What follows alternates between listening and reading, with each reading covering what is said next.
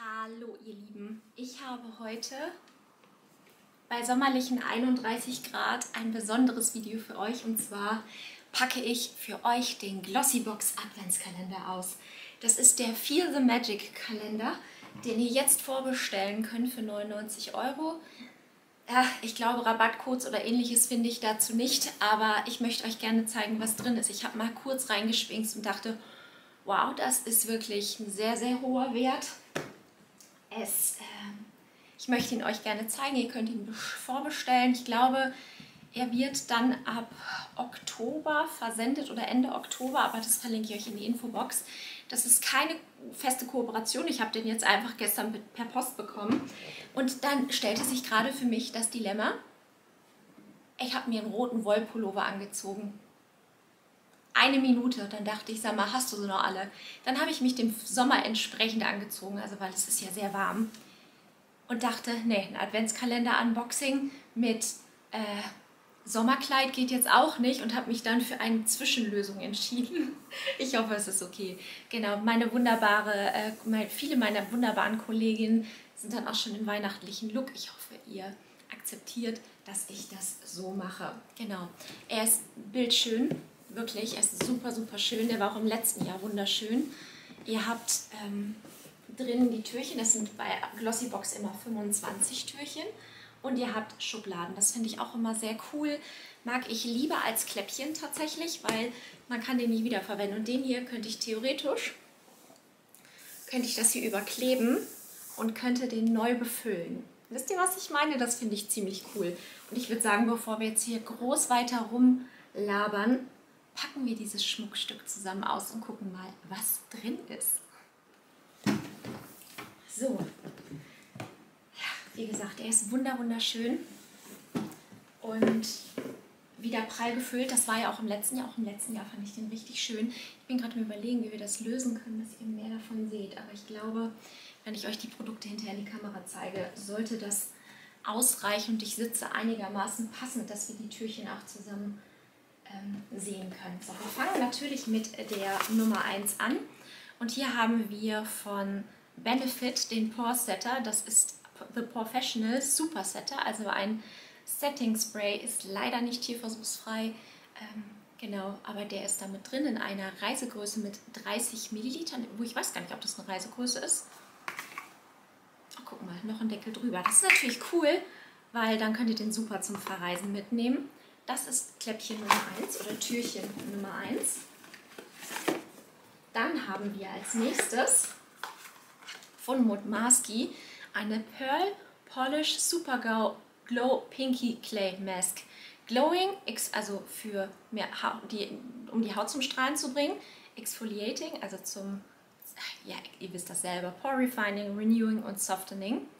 Das finde ich auch sehr cool und das ist auch eine Full-Size-Größe. Und Mutmaski macht wirklich sehr, sehr hochwertige Hautpflegeprodukte. Ich habe auch gerade einen Blush, äh, so einen Creme-Blush von Mutmaski, den finde ich richtig, richtig schön.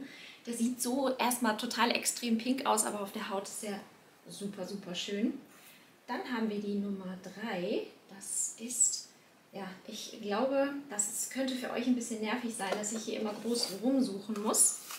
Dann haben wir hier von Kiehl's die Calendula, Calendula, Calendula Petal Infused Calming Mask. Bei Kiels bin ich mir gerade nicht 100% sicher, ob sie tierversuchsfrei sind oder nicht. Mutmaski ist es auf jeden Fall. Genau, die ist da drin in einer kleinen Größe mit 14 Milliliter. Ich finde, um was auszuprobieren, reicht das auf jeden Fall aus. Und ja, eine Gesichtsmaske. Gerade im Winter, wenn er dann kommt, nicht schädlich, beziehungsweise auch im Sommer nicht äh, schädlich, um die Haut vor also zwischendurch mal von der Sonnenstrapazierung äh, zu retten. Dann haben wir hier ein von Paradox. Von Paradox ein Repair Game Changer Hair Mask, ein äh, Smooth and Hydrates Hair, also macht das Haar, ähm, lässt es feiner aussehen und ähm, bietet Feuchtigkeit, ist äh, vegan, der Sitz der, der Firma ist in, ähm, Warte, Biotech? Ist auf jeden Fall eine Haarmaske mit 30 Milliliter. Da ähm, habt ihr auf jeden Fall im Moment was von. Also ich würde sagen, bei einer Haarmaske brauche ich so im Schnitt 10 Milliliter ungefähr, wenn ich das so auf meinen Verbrauch äh, rechne.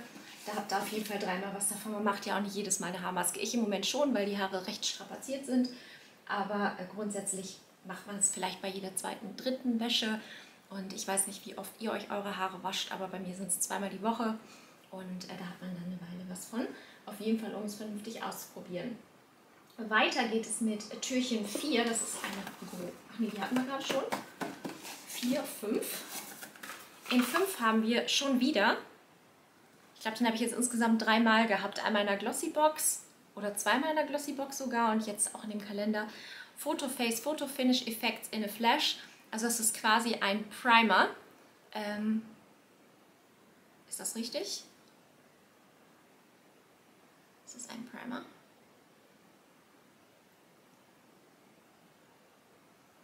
Oder ist es einfach eine Creme? Keep Makeup in Place helps to look in, in moisture and keep Makeup in place. Also tatsächlich sowas wie ein Primer. Genau. Habe ich tatsächlich auch schon hier. Wie gesagt, war jetzt auch schon ein paar Mal. Ich glaube, ich habe den zweimal da. Ich bin mir aber nicht sicher.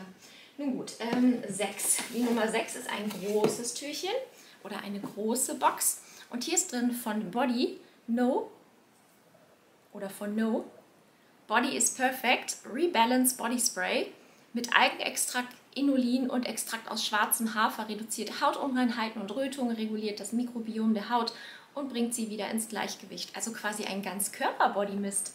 Das finde ich ja ziemlich cool, das kenne ich noch gar nicht. Ist auch ähm, glaube ich, ja, auf jeden Fall teeversuchsfrei, genau. Flasche mit 96% PCR-Anteil. Richtig gut. Täglich auf die gereinigte und trockene Haut aufsprühen, vor Gebrauch schütteln. Lagerung bei 5 bis 25 Grad. Das finde ich auch cool. Dann haben wir die Nummer 7. 7, 7. Und das finde ich toll. Ähm, und zwar von Essence ist diese wunderbare, dieser wunderbare Eyelash Curler drin. Bei meiner gibt langsam der Geist auf, also der ist schon wackelig geworden. Und da muss man ein bisschen vorsichtig sein, weil man ja am Auge damit drückt. Und man möchte nicht, dass das Ding dann am Auge kaputt geht.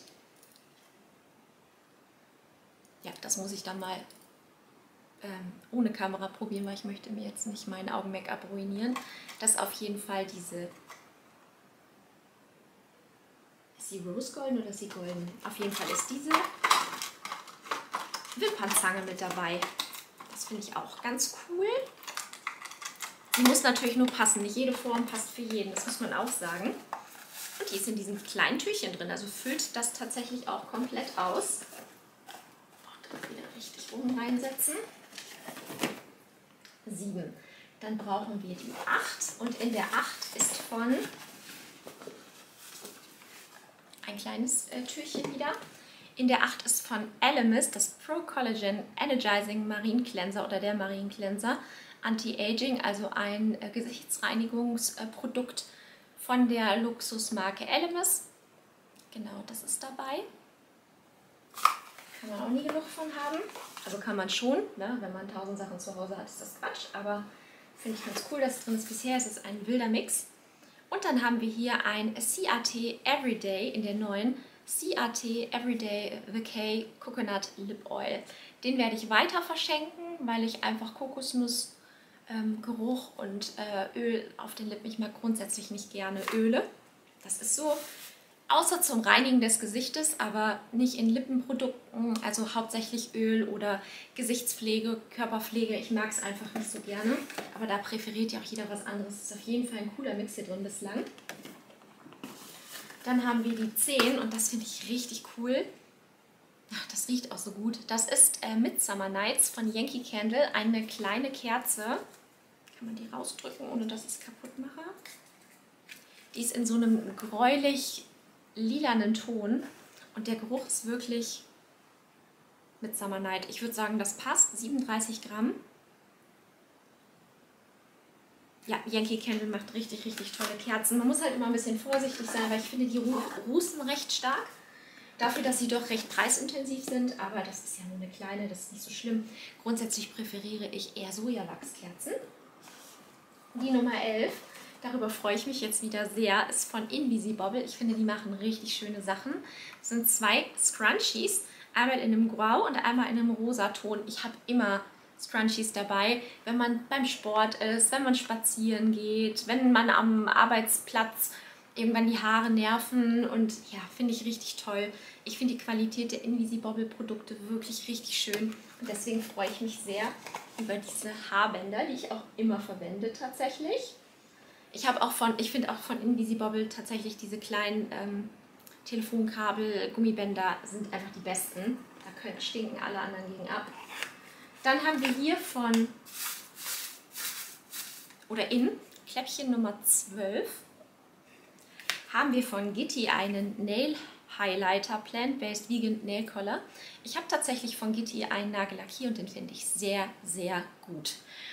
Wenn ich überlege, dass ich früher tatsächlich ausschließlich äh, Essie-Nagellacke genommen habe, die blättern bei mir immer ab und ich habe jetzt auch wirklich seit Monaten, seitdem ich aufgehört habe mit den Budget-Videos, keine Nagellacke mehr getragen, weil es einfach nach einem Tag absplittert. Da freue ich mich drüber. Das ist auch so ein dezenter mit einem leichten Glitzer. Ich denke, wenn dann mal was abblättert, dann ist das nicht ganz so schlimm, wie wenn man jetzt ein schönes, sattes Rot oder Bordeaux trägt. Nummer 13 ist wieder ein großes Türchen. Und hier haben wir, oh, ein Satin Pillowcase. Und das finde ich immer richtig, richtig toll. Es muss nämlich nicht unbedingt Seide sein. Es sollte nur glattes Material sein, dass eure Haare, wenn ihr darauf legt, nicht liegt, nicht so ähm, die, das raue Material von zum Beispiel Baumwolle kann halt sein, dass es eure Haarstruktur schädigt.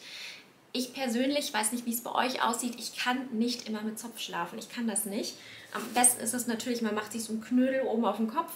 Und aber wenn ich mir abends oder wie heute dann auch die Haare mache, dann sehe ich am nächsten Tag aus wie Struppi und muss die wieder machen, muss da wieder mit Hitze dran. Da habe ich keinen Bock drauf. Deswegen versuche ich, wenn es irgendwie geht, auf dem Rücken zu schlafen und die Haare so nach oben zu legen. Ja, aber grundsätzlich, ich habe Seidenkissen hier und äh, das ist definitiv was, das den Haaren gut tut. Es ist jetzt ein Champagnerton, der passt nicht unbedingt in meine Bettwäscheabteilung, aber ich bin mir ganz sicher, da finde ich einen, ähm, jemand, einen Abnehmer, der das richtig gut findet, dass das dabei ist. Ähm, oder dass er das Geschenk bekommt. Dann haben wir die Nummer 14 und hier haben wir von Nummer 14. Hier haben wir von Real Hair Real Her, nicht Hair. I Am Beautiful Length Volume Mascara. Schauen wir uns auch an, wie denn die Mascara aussieht. Ach, ich bin immer kein Fan davon, Mascara aufzumachen, weil da muss sie auch verwendet werden. Ach komm, sie ist umsonst gewesen. Also ich habe sie geschenkt bekommen. Natürlich muss man es versteuern, aber grundsätzlich geschenkt bekommen. Und das ist so ein Synthetikbürstchen so, ja, das könnte gut funktionieren. Da bin ich echt gespannt.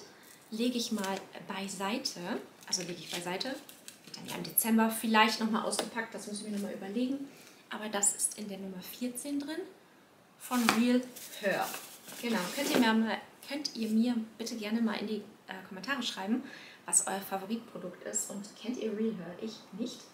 Nummer 15 ist wieder ein etwas größeres. Und hier haben wir von Molten Brown ein Coastal Cypress and Sea Fennel, sea Fennel Bath Shower Gel. Also ein kleines Duschgel, finde ich cool.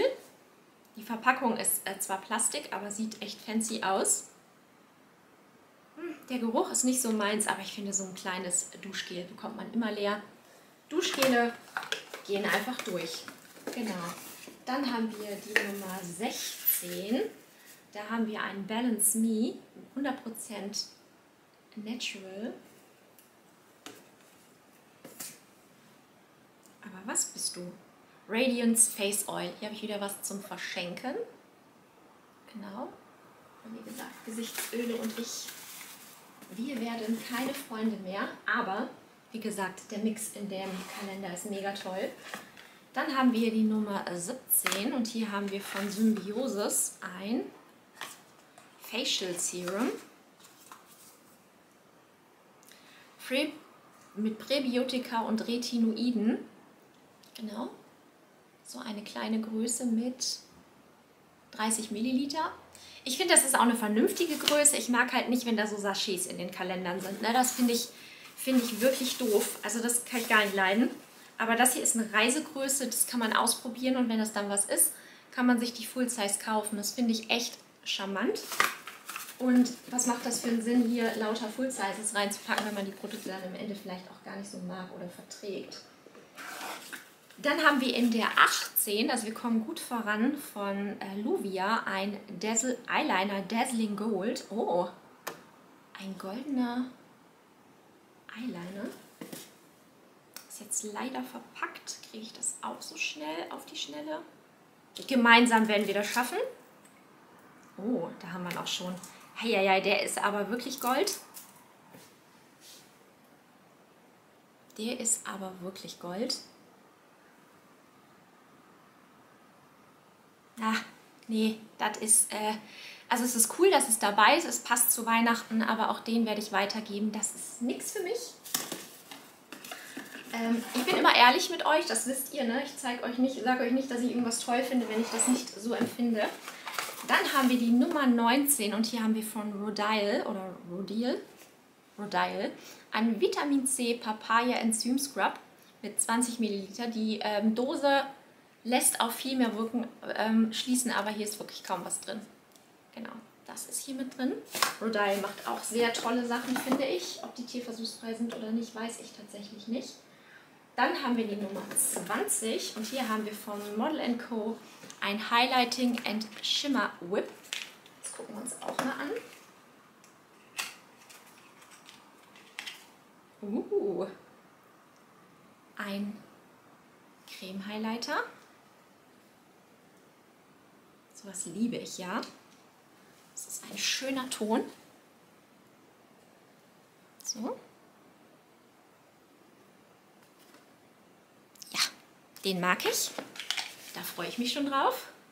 Ist zwar auch ein Goldton, aber ähm, der ist halt nicht glitzerig, sondern der schimmert schön. Richtig toll. Wow. Glass Skin, sage ich nur. Richtig hübsch.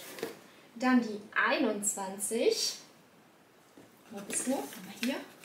Das ist von Lavera Cosmetics ein, ein Lippenpflegestift. Genau, glaube ich zumindest. White Aura. Lippenpflege oder Lippenstift? Das ist die Frage der Frage.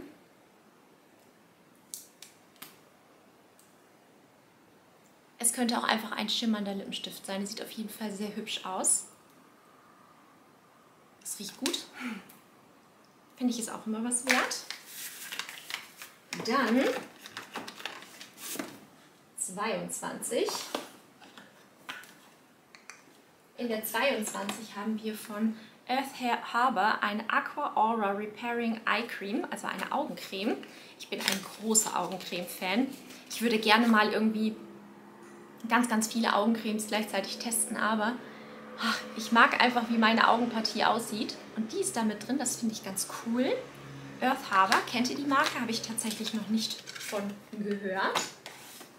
23 haben wir hier wieder, oh, da weiß ich, werden, werden sich viele drüber freuen, von Barbour Active Night ähm, Ampullen. Hier sind sieben mal sieben 2 Milliliter Ampullen drin und ich weiß, dass viele die total gerne mögen.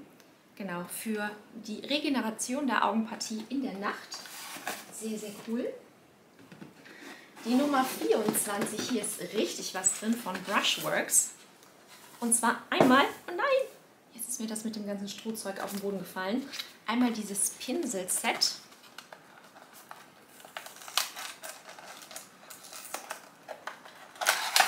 Letztes Jahr waren es, glaube ich, Luvia-Pinsel. Ich bin mir nicht sicher. Oh, die sehen aber süß aus. Die sehen aber süß aus. Ähm oh, und sie sind richtig schön weich. Also sie könnten echt was sein. Und ich mag irgendwie, dass die so klein sind. Wisst ihr, was ich meine? Finde ich ganz cool. Pause machen, weil alle Akkus leer waren. Das habe ich ganz vergessen zu zeigen. Bei dem Brushworks Set ist tatsächlich auch noch so ein Powderpuff dabei. Das liebe ich ja im Moment auch total. Das war ja früher schon mal ein Thema, dann hat das irgendwie keiner mehr benutzt. Und hier haben wir direkt auch, oh, zwei. Hm, die sind so ein bisschen, fühlen sich ein bisschen an wie trockene Indie Bobbles. Auch witzig. Ja, das ist auf jeden Fall da drin. Finde ich mega cool. Und das wollte ich euch natürlich nicht vorenthalten, nur weil der Akku hier langsam den Geist aufgibt oder aufgegeben hat. Jetzt kriege ich es hier nicht mehr rein. Warum nicht?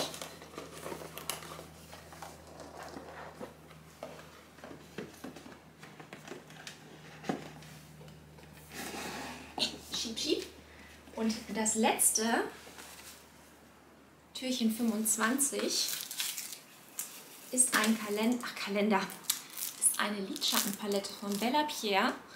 35 Color Palette, 35 Farben, Fännchen. Ultimate Nude Eyeshadow Palette. Fühlt sich ganz gut an. Oh. Okay. Die sieht gut aus. Wir haben auf jeden Fall viele, viele Nude-Töne. Ich würde auch sagen, es ist für jeden was dabei. Jetzt nicht super kühles, aber schon so neutral und warm. Und auch wirklich so ein paar Pop-of-Colors mit Blau und Lila und so bärigen Tönen. Die macht einen hübschen Eindruck. Ja, die ist Türchen Nummer 25. Und ich würde sagen, der Kalender ist ein Knaller. Kann man nicht anders sagen. Ich habe mal auf der Homepage geschaut. Also man kann ihn wie gesagt vorbestellen. Und ähm, er hat einen Wert, beziehungsweise den Wert weiß ich tatsächlich nicht, es war leider kein Briefing äh, bei dem Kalender dabei. Aber ihr habt ja gesehen, ne, wie viele hochwertige Produkte da drin waren. Ich finde ihn sehr dekorativ. Also ich glaube, dass er auch überall einfach hübsch aussieht. Der war auch im letzten Jahr sehr, sehr dekorativ. Und für 99 Euro könnt ihr ihn vorbestellen. Und ja, wenn ich irgendwelche Rabattcodes finde, verlinke ich sie euch mit in die Infobox. Schreibt mir in die Kommentare, wie ihr den Kalender gefunden habt. Ich bin sehr, sehr neugierig. Ich finde ihn sehr schön. Fand ihn auch im letzten Jahr sehr schön und bin gespannt auf euer Feedback der Glossybox Adventskalender. In diesem Sinne, ich hoffe, ihr hattet Spaß, mit mir in diesen Kalender hineinzuspinzen und ähm, euch anzuschauen, was da drin ist. Und vielleicht habt ihr euch auch schon gefragt, möchte ich den dieses Jahr wieder haben oder nicht. Und ja, in diesem Sinne, passt auf euch auf, bleibt gesund und bis bald. Ciao, ihr Lieben. Tschüss.